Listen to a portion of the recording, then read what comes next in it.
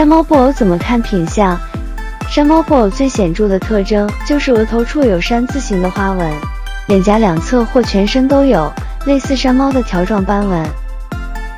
其实布偶猫的山猫纹就相当于其他猫的虎斑纹，山猫纹可以出现在任何花色的布偶身上，并且在其他花色中被认为失格的白耳边，在山猫纹布偶中是被允许的。